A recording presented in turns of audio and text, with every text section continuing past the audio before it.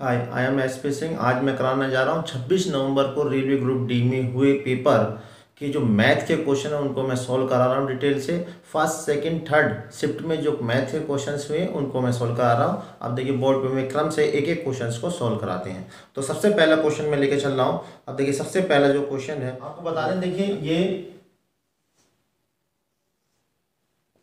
इधर लेते हैं पूरब और ये पश्चिम। और ये उत्तर और ये दक्षिण। अब इसमें क्या है? अनुप्रारंभ में बीस मीटर उत्तर की ओर जाता है। अनुप्रारंभ में बीस मीटर कितने जाता है? उत्तर की ओर। तो यहाँ से बीस मीटर वो चला उत्तर की ओर। उसके बाद फिर तीस मीटर पूरब की ओर जाता है। तो तीस मीटर कितना चलता है? पूरब की ओर। यहाँ से तीस मीटर पूरब की ओर जाता है। फिर दस मीटर दक्षिण। दस मीटर दक्षिण तो दक्षिण किधर है? दस मीटर पूर्व की ओर, फिर दस मीटर दक्षिण की ओर, देखिए आ गया। दस मीटर दक्षिण की ओर। और लास्ट में चालीस मीटर पश्चिम जाकर रुक जाता। है देखिए, ये तीस मीटर है तो चालीस मीटर क्लियर है कि इससे ज़्यादा ही होगा। यहाँ जाके चालीस मीटर रुक जाता है। तो वह प्रारंभिक स्थान से के मुकाबले किस दिशा में तो प्रारंभिक स्थान क्या था इसका? यहाँ से। जरा समझिए, पहले 20 मीटर उत्तर की ओर गया, फिर 30 मीटर पूर्व की ओर, फिर 10 मीटर, दक्षिण की ओर, और फिर लास्ट में 30 मीटर पश्चिम की ओर इधर जाए तो यहाँ पर इसकी पोजिशन है। तो यहाँ से कितनी है उत्तर पश्चिम की ओर। तो जो पहला क्वेश्चन है, उसका उत्तर क्या आ गया? उत्तर पश्चिम। क्या आ गया आंसर इसका? इस क्वेश्चन में देखिए आपको ऊपर ये दिखाई दे रहा होगा कि चार क्रमागत सम संख्याओं का जो औसत है वो सत्ताईस है। तो हमें सबसे बड़ी संख्या बतानी है। तो चार क्रमागत सम संख्याएँ मान ली पहली संख्या क्या? टू एक्स है। तो उससे अगली कौन सी हो जाएगी? क्रमागत टू एक्स प्लस टू। उससे अगली कौन सी हो जाएगी? Two x plus four. फिर उससे अगली टू एक्स प्लस सिक्स। कितनी होगी एक दो तीन चार। इनका औसत औसत का मतलब समांतर माध्यम उसे कुछ चार से भाग देंगे और कितना दे रखा है? सत्ताईस। अब हमें सबसे बड़ी संख्या निकालनी ये वाली। तो इसको निकालने के लिए हम क्या करेंगे? देखिए, पहले एक्स वाले जोड़ लेते हैं। दो दो, चार, दो छः दो, आठ। यानी कि आठ एक्स ये कितना हो गया? दो, चार छः और छः बारह। ये इधर पहुँच जाएगा। सत्ताईस की हम चार से मल्टीप्लाई करेंगे। तो ये हो जाएगा एट एक्स प्लस बारह इज़ इक्वल टू सत्ताईस, चार सत्तर अट्ठाईस, चार दूनी आठ अधिक नौ। तो चार सत्तर अट्ठाईस, चार दूनी आठ अब दो दस हो गए। अब देखिए एट एक्स एक सौ आठ माइनस बारह। एट एक्स बराबर एक सौ आठ में से बारह घटा दिए। ये बचा छः और नाइन्टी सिक्स तो एक्स बराबर आ गया नाइन्टी सिक्स अपॉन एट आठ गया आठ आठ दूनी सोलह। तो सबसे बड़ी संख्या कौन सी थी? तो सबसे बड़ी संख्या कितनी हो गई? टू एक्स प्लस सिक्स यानी दो गुणा बारह प्लस छः बारह दिन चौबीस छः तीस। तो यह आंसर क्या आ गया? तीस तो सबसे बड़ी संख्या कितनी हो गई? यस देखिए नेक्स्ट क्वेश्चन है। अगर एक जुलाई का मंगलवार है तो उसी वर्ष में इकतीस अगस्त को कौन सा दिन होगा? तो इसे समझने के लिए जरा समझेंगे। देखिए एक जुलाई। एक जुलाई का क्या है? मंगलवार। अब हमसे क्या पूछा? इकतीस अगस्त। तो इकतीस अगस्त को क्या होगा? जरा समझेंगे। जुलाई में होते हैं थर्टी डेज़ और अगस्त में होते हैं थर्टी फ़र्स्ट डेज़ इन दोनों को प्लस करेंगे तो कितना हो गया? सिक्सटी वन अब हमें करना क्या? सेविंग से इसको डिवाइड करना। तो सात अट्ठे छप्पन। तो कितना बचा? पाँच। आप जरा ध्यान दीजिए। तो एक जुलाई को क्या है यहाँ पर? ये एक जुलाई को है मंगलवार। तो इसमें क्या है? मंगलवार में अगर हम ये जो शेष है, ये और जोड़ दें प्लस पाँच तो हमें वो दिन निकल कर आ जाएगा, जो दिन इकतीस अगस्त को पड़ेगा। तो अब यहाँ देखिए, मंगल के बाद क्या आएगा पाँच और जोड़ दिए। मंगल बुध, बृहस्पति, शुक्र, शनिवार, रविवार। तो क्या दिन आ गया? रविवार। तो आंसर क्या है?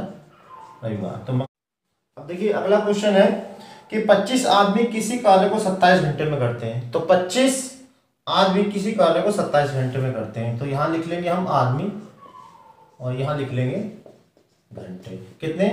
पच्चीस आदमी कितने घंटे में कर रहे हैं? सत्ताईस घंटे में कर रहे हैं। पच्चीस आदमी किसी कार्य को सत्ताईस घंटे में करते हैं तो पंद्रह आदमी। पंद्रह आदमी उसे कितने समय में समाप्त कर लेंगे? ये हमसे पूछा। अब देखिए, सत्ताईस पचास जो पच्चीस आदमी है, वो सत्ताईस घंटे में कर रहे हैं। तो पंद्रह आदमी जो होंगे, वो ज़्यादा घंटे में करेंगे। यानी कि आदमी की संख्या तो कम हो रही है, समय क्या है? बढ़ रहा है। तो ये व्युतक्रम अनुपात हो गया। अगर एक चीज़ बढ़ाने पर दूसरी भी बढ़ती है तो समान अनुपात होता है, और एक चीज़ बढ़ाने पर दूसरी घटती है तो विक्रम अनुपात होता है। तो यहाँ पर देखिए आदमी की संख्या घट रही है। जब आदमी की संख्या घटेगी तो समय तो निश्चित रूप से बढ़ेगा तो ये उल्टा हो रहा है। तो इसलिए क्या हुआ? विक्रम अनुपात। इसको हल कैसे करना देखिए? ये पच्चीस बटा पंद्रह बराबर एरो का निशान जिधर से होता है, उस इसको हल करते हैं ऐसे। अब हमें एक्स निकालना, इसको इधर ले जाएँगे देखिए। पच्चीस गुणा सत्ताईस बटा पंद्रह। अब यहाँ सोल्व कर लेते हैं। पाँच या पंद्रह पाँच पंजे पच्चीस तीन नम सत्ताईस। तो एक्स बराबर आ गया पाँच नम पैंतालीस। लो जी पैंतालीस घंटे में जो है पंद्रह आदमी इस काम को ख़त्म। अगर आप हमारे चैनल पर नए हैं तो सबसे पहले लाल बटन दबाकर आप सब्सक्राइब कर दीजिए। साथ में जो बराबर में घंटी है उसका बटन भी दबा दीजिए जिससे नई वीडियो का नोटिफिकेशन सबसे पहले क्या है जरा इसको समझेंगे? यदि ए और बी मिलकर किसी काम को जो है पंद्रह दिन में समाप्त करते हैं। तो बी अकेला उसको बीस दिन में समाप्त करता है तो ए अकेला इसको कितने दिन में करेगा? तो हम सबसे पहले करेंगे ए और बी का एक दिन का काम। तो ए और बी का एक दिन का काम हो जाएगा। ए प्लस बी का एक दिन का काम हो जाएगा। एक बटे पंद्रह व्युतक्रम कर देते हैं इसका। तो ए और बी का एक दिन का काम कितना? एक बटे पंद्रह। और बी का जो है एक दिन का काम है एक बटे बीस। अब हमसे क्या ए का पूछा? तो इसमें से हम ये वाला माइनस कर देंगे। तो ए का एक दिन का काम कितना हो जाएगा? एक सौ पंद्रह माइनस एक बटा बीस, इसका एल्सियम ले लेते हैं। ये हो जाएगा साठ, पंद्रह चौका साठ, और बीस दिया साठ, यानी कि एक बटे साठ। और लास्ट में क्या है? इसको हम पलट देते हैं। तो कितना हो जाएगा? सिक्सटी।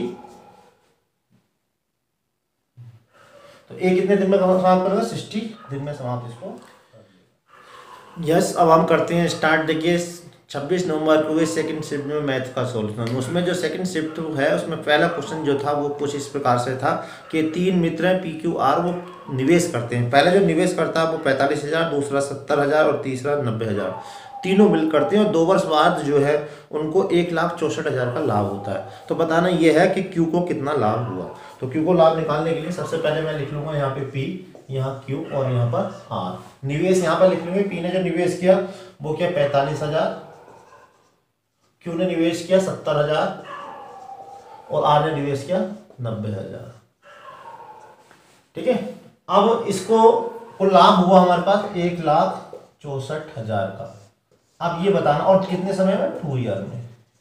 अब हमें बताना क्यू को कितना लाभ हुआ। तो क्यू का लाभ निकालने के लिए पहले हम इसको सरल अनुपात में बदलेंगे। तो सरल अनुपात बदलने के लिए देखिए, ये यहाँ से ज़ीरो से मैंने काट दिया।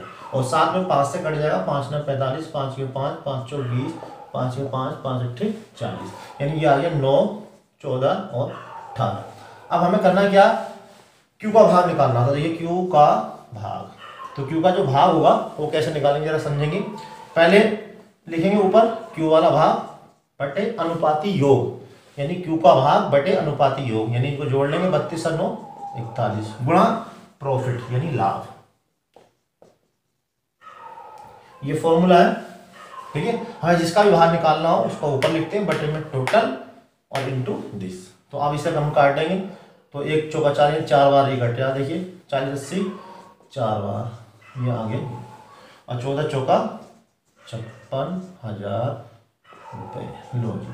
तो क्यू को जो लाभ मिलेगा, वो छप्पन हज़ार का देखिए सेकंड शिफ्ट का जो दूसरा क्वेश्चन है, वो इस प्रकार से है। तीन संख्याएँ क्रमशः तीन, चार और पाँच के अनुपात में दी हुई पहली तथा तीसरी का योग दूसरी संख्या से जो है वो बावन अधिक है। तो सबसे बड़ी संख्या हमें बतानी है। तो अनुपात जो दे रखा, हमें क्या दे रखा? तीन, अनुपात चार, अनुपात पाँच। इसमें फ़र्स्ट और लास्ट का जो योग है, यानी कि three x plus five x ये जो है योग है, वो बीच वाली संख्या, यानी कि फोर एक्स से बावन, ये जो है बावन अधिक है। तो ये बावन, जब बावन अधिक है तो इधर आप प्लस कर देंगे तो बराबर हो जाएगा। यानी कि इन दोनों का जो जोड़ है, वो बीच वाली संख्या से बावन ज़्यादा है। तो कम वाले में जोड़ देंगे। तो अब देखिए, हो गया पाँच तीन आठ एक्स और चार एक्स घटा देंगे इधर आके, रह गया चार एक्स और फिफ्टी टू। तो एक्स बराबर आ गया चार गन चार चार दिया बारह। एक्स बराबर आ गया तेरह। ठीक है, अब हमने सबसे बड़ा भाग पूछा। तो सबसे बड़ा भाग कौन सा? फाइव, यानी फाइव एक्स। तो बड़ा भाग कितना हुआ? बड़ा भाग। तो कितना हो जाएगा? फाइव एक्स, यानी कि फाइव मल्टीप्लाई तेरह तो तेरह पंजे? स्टूडेंट नेक्स्ट क्वेश्चन जरा ध्यान से हम पढ़ेंगे। पहला क्वेश्चन है, एक संख्या का चालीस परसेंट, दूसरी संख्या का चार बटे सात है। तो पहली तथा दूसरी संख्या के बीच अनुपात ज्ञात कीजिए। एक संख्या का चालीस परसेंट, यानी एक मान लीजिए एक्स एक्स का चालीस परसेंट, और दूसरी का, जो दूसरी मान लीजिए वाई बाई दूसरी संख्या का चार बटे सात है, का चार बटे सात। अब देखिए एक्स का की जगह गुणा लगा देते हैं, चालीस बटा सौ लिख देंगे यहाँ पर, ठीक है? और यहाँ देखिए बाई का की जगह गुणा, और चार बटे सात। अब इसको सॉल्व कर लेते हैं, देखिए, ये चार से चार कट गया। अब यहाँ पे आ जाएगा एक्स बटा वाई दस ऊपर पहुँच जाएगा उधर, दस बटे सात। तो कितना अनुपात आ गया? एक्स अनुपात, दस अनुपात सात। तो क्वेश्चन है, किसी वस्तु को सौ रुपये में बेचने पर एक व्यक्ति को बीस रुपये का लाभ होता है। तो उसका लाभ प्रतिशत हमें बताना क्या है? किसी वस्तु को सौ रुपये में बेचने पर। तो बेचने यानी कि उसका जो है विक्रय मूल्य है, विक्रय मूल्य। बराबर कितना? सौ रुपये और लाभ कितना है? बीस रुपये का लाभ होता है। तो क्रय मूल्य कितने का हो जाएगा? क्रय मूल्य हो जाएगा, लाभ माइनस कर देंगे विक्रय मूल्य में से। यानी कि हो जाएगा सौ माइनस बीस बराबर अस्सी रुपये ठीक है? और हमसे क्या पूछा? लाभ पूछा। तो लाभ निकालने के लिए, लाभ प्रतिशत। तो लाभ को ऊपर लिखना, लाभ बटा क्रय मूल्य गुणा सो, यहाँ से सोल्व कर लेंगे आंसर आ जाएगा। लाभ कितना है? बीस। क्रम मूल्य है? क्रम मूल्य अस्सी। और लाभ गुणा सौ। अब इसे देखिए, ज़ीरो से ज़ीरो काट दिया। अब यहाँ पे दो चौक, आठ, चार दूनी, आठ, चार पंजे बीस। लाभ प्रतिशत कितना हो गया? पच्चीस प्रतिशत का लाभ उसको। देखिए नेक्स्ट क्वेश्चन है। यदि पंद्रह कलम का मूल्य अट्ठानवे रुपए है एक तरफ़ क्या लिखेंगे? कलम। और दूसरा मूल्य। देखिए, पहले साइड में भी क्वेश्चन आया था इस टाइप का। अब इसमें लिखा, पंद्रह कलम का मूल्य है। पंद्रह कलम का जो मूल्य है, वो वन नाइनटी एट रुपए है। तो पच्चीस कलम का मूल्य है। पच्चीस कलम का मूल्य हमसे पूछा। अब जरा ध्यान देना कि देखो, कलम की संख्या भी बढ़ी है तो उनका मूल्य भी बढ़ेगा। तो ये समान अनुपात हो गया। तो समान अनुपात होता है तो कैसे करेंगे? पंद्रह बटा पच्चीस बराबर एरो के निशान में। वन नाइनटी एट बटा एक्स जिधर एरो के निशान होते हैं, उस साइड में हम करेंगे। अब देखिए एक्स निकालना है, इसको इधर ले जाएँगे। और ये हो जाएगा वन नाइन्टी एट इंटू पच्चीस बटा पंद्रह। अब जो सोल्व कर लेते हैं। पाँच दिया पंद्रह, पाँच पंजे पच्चीस, तीन छः अठारह और तीन छः अठारह। तो एक्स बराबर आ गया छः पाँच छः तीस का ज़ीरो, पाँच छः तीस और तीन तैंतीस। रुपये ध्यान से पढ़ेंगे। नेक्स्ट क्वेश्चन है, साठ लीटर के मिश्रण में दूध और पानी का जो अनुपात है, वो तीन और एक है। साठ लीटर मिश्रण में दूध और पानी, दूध और पानी का जो अनुपात है, वो कितना है? तीन अनुपात एक है। तो इस अनुपात को दो अनुपात एक करने के लिए, अब इसको हमें क्या अनुपात करना, दो अनुपात एक करना। तो दो अनुपात एक करने के लिए इसमें कितना पानी और मिलाया जाए तो इसमें कितना पानी और मिलाना ये हमसे पूछा है, ठीक है? तो इसके लिए पहले हम इसके हिसाब से पता लगा लें कि कितना दूध है और कितना पानी है। यानी कि ये लेंगे थ्री एक्स जब भी अनुपात होता है तो एक्स लिख लेते हैं। इनका जो जोड़ है वो कितना है? सिक्सटी है। ये हो गया फोर एक्स तो एक्स बराबर आ गया बड़े ले जाएँगे चार एकम चार चार पंजे बीस, यानी कि एक्स बराबर आ गया पंद्रह। तो दूध कितना हो गया? दूध हो गया हमारे पास। थ्री एक्स यानी कि थ्री इंटू फिफ्टीन पंद्रह पैंतालीस लीटर। दूध कितना हो गया? पैंतालीस लीटर। अब दूसरा है पानी। पानी कितना है? वन इंटू एक्स यानी कि पंद्रह लीटर। अब ये कह रहे हैं कि पानी कितना बढ़ाएँ।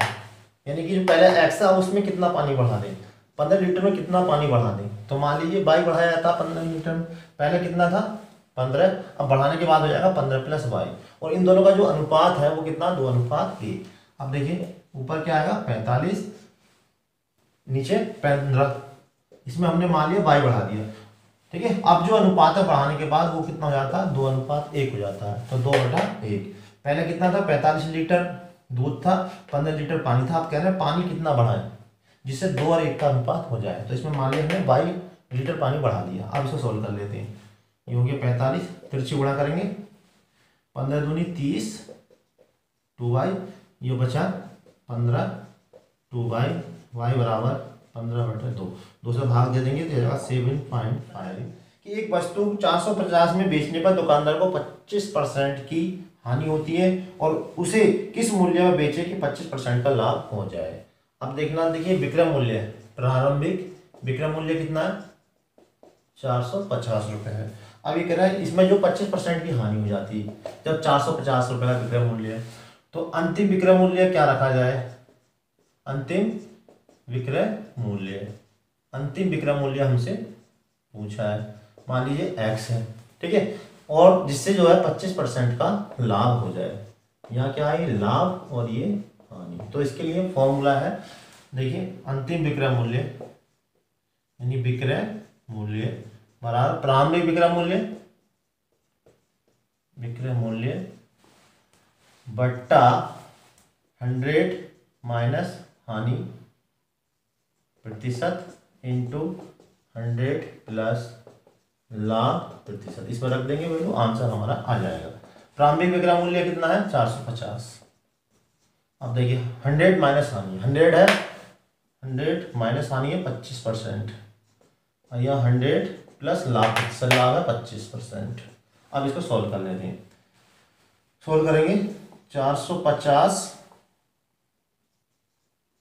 यू गया seventy five multiply one twenty five. तो पच्चीस तिया पिछहत्तर, पच्चीस पंजे एक सौ पच्चीस, तीन एकम तीन तीन पंजे पंद्रह। तो पंद्रह पंजे पिछहत्तर। कितना? सात सौ पचास रुपये तो विक्रय मूल्य कितना हो गया? क्वेश्चन ये क्वेश्चन बहुत आसान है। चार सौ बत्तीस रुपये का चार सौ बत्तीस रुपये का छः सही दो बटे तीन कितना होगा? चार सौ बत्तीस। तो चार सौ बत्तीस का की जगह लगा देंगे का। कितना? छः सही दो बटे तीन प्रतिशत। छः सही दो बटे तीन प्रतिशत कितना? तो इसे सोल्व करने के लिए देखिए चार सौ बत्तीस का आपकी जगह मल्टीप्लाई लगा देंगे। तीन छः अठारह दो बीस बटा तीन। और जहाँ प्रतिशत है, प्रतिशत का मतलब हटा के बटे में सौ लिख देंगे। अब इसको सॉल्व कर लेते हैं, देखिए। चार सौ बत्तीस गुणा बीस। अब यहाँ पर यह जाएगा तीन गुणा सो। आप देखिए यहाँ ज़ीरो से ज़ीरो कट गया। अब यहाँ पे इसको काट देते हैं। तीन निकम तीन तीन एक बचा तीन चौक बारह, तीन चौक बारह। और यहाँ दो पंजे दस। अब हम इसे पाँच से और इसको भाग कर देते हैं। तो ये हो जाएगा पाँच दूरी दस, चार बचा, जैसे पाँच चार बजे पाँच अट्ठे चालीस और पाँच अट्ठे चालीस। कितना आ गया? अट्ठाईस पॉइंट। नेक्स्ट क्वेश्चन है उसको ज़रा ध्यान से पढ़ेंगे। कितने वर्षों में बारह परसेंट वार्षिक दर से तीन हज़ार का साधारण ब्याज एक हज़ार अस्सी रुपये हो जाएगा? तो दर कितनी है? दर है बारह परसेंट। उसके बाद वार्षिक दर से तीन हज़ार रुपये साधारण ब्याज। तीन हज़ार रुपये मूलधन है। मूलधन है तीन हज़ार रुपये और साधारण ब्याज साधारण ब्याज है।